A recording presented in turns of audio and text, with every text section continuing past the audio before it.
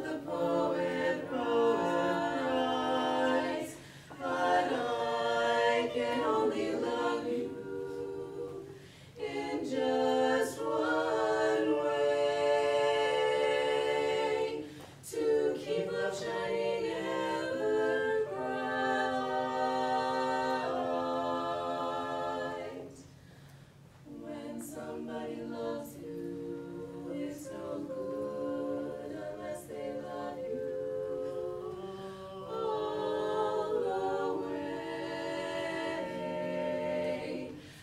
To be near